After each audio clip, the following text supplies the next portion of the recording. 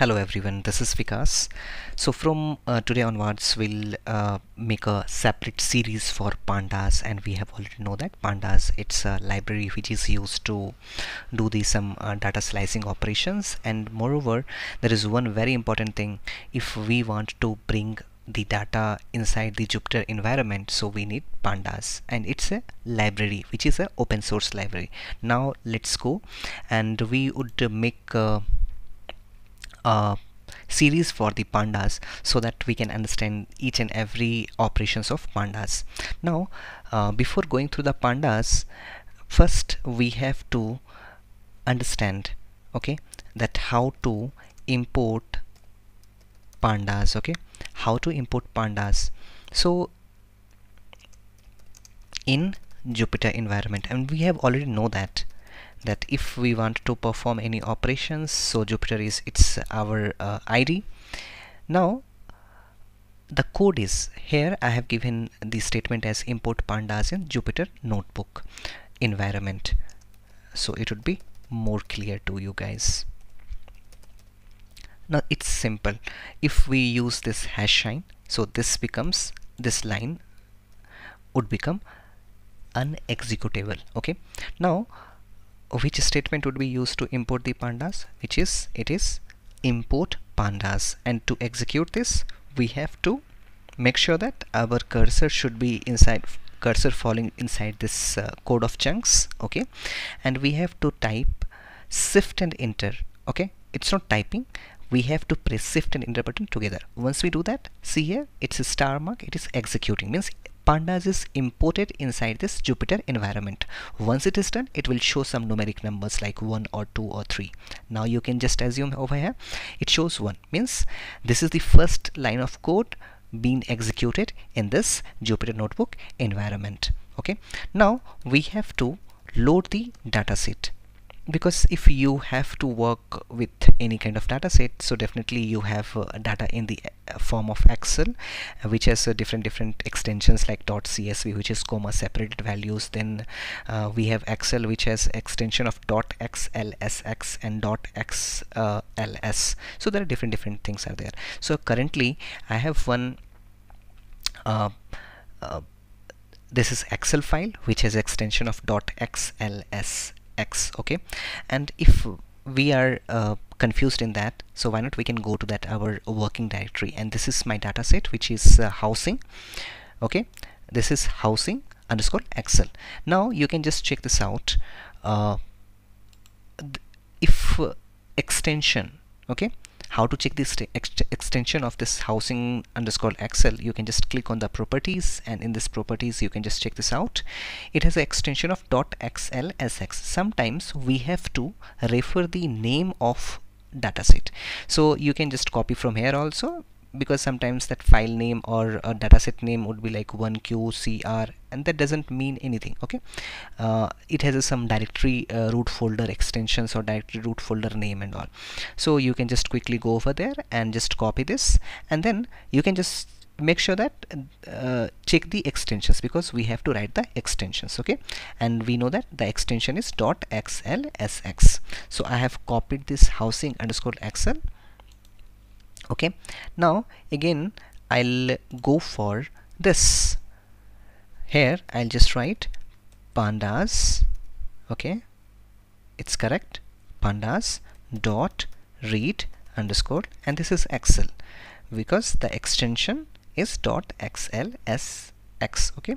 Now I'll just uh, inside this inverted comma I have to give this housing underscore excel because this is the name of uh, file then xlsx once we execute this again she it shows star mark means it is loading.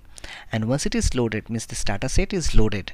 And I have named this uh, housing underscore excel dot xls dot xlsx as a data set. So you can name anything over here. You can write data 1 data 2 or as per your own convenience okay now there is one thing which I would like to tell you because uh, here I have just shown you import pandas okay? Now second you can just write it as a import pandas as PD okay? Because sometimes what happen uh, always writing this pandas uh, some calling name if we use and using this calling name if we have uh, only two letters instead of 1 2 3 4 5 and 6 6 letters so which one is convenient for you? Definitely it would be two letters so the same operation whichever operations we have done over here the same operations we can also do using this. So we can just write dataset then we can just write pd dot read underscore excel. And then inside this double quote okay? Always make sure that if you are loading any dataset so after this parenthesis you have to write the double quote and inside this you have to write the file name.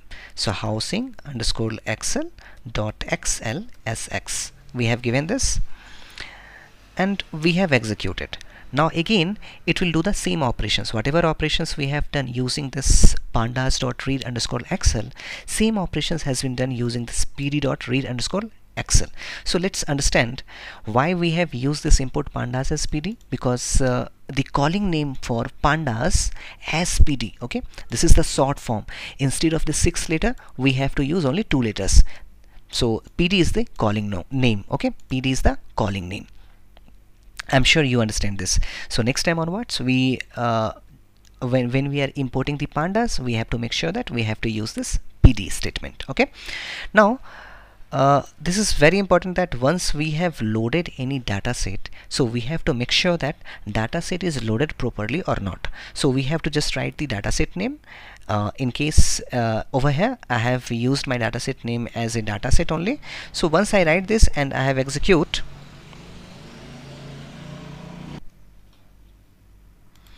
so I have written this data set okay?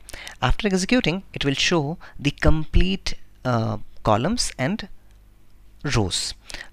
But here you can just check this out. If we'll check the dimensions of this data, data set which shows 20,640 rows and 10 columns. So it's not feasible to uh, show all the rows. So it has shown the first five rows and first last five columns sorry uh, I'm sorry it shows the first five rows and last five rows okay? And it also shows uh, the columns. You can just check this out. It shows all the columns. Here we have one slider available. You can just check this out. Here we have a slider. And uh, because uh, we cannot accommodate more than 8 to 10 columns okay? So this is the reason we have a slider available. You can just check this out. Now the better way uh, that because it is taking lots of space so same operations could be done using this dataset dot head. Once we give this head it will show the very first five rows from 0 1 2 3 and 4 because python starts from 0 that's the reason the index is 0 over here. Explicitly if we mention over here as a 10 it will show the first 10 records or first 10 rows. So in terms of data science we called row as a records okay and column as a variables and features also sometimes we are referring. So depending on the data scientist they are uh, referring those terms. Now uh, here we have used this head uh, 10 so it is showing me total 10 and this is the very first 10 rows. Now if we just remove this so by default it would show only five rows.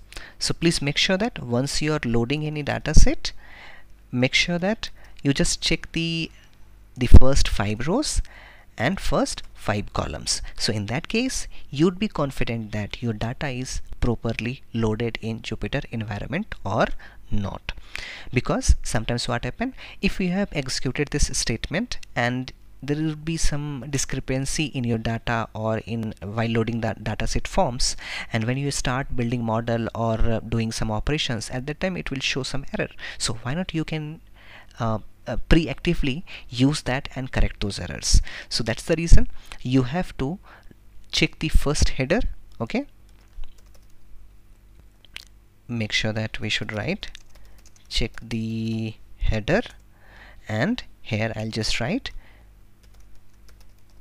check the tail okay?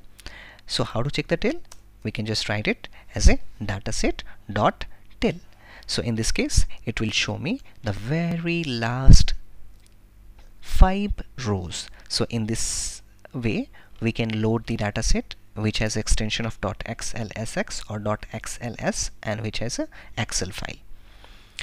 Thank you so much guys. And uh, we would make a series of pandas. And in that case we can understand each and every activity uh, which pandas uh, is uh, doing and uh, which actually makes ease for our data science operations. Thank you so much and please do subscribe and please do like uh, the video if you like this video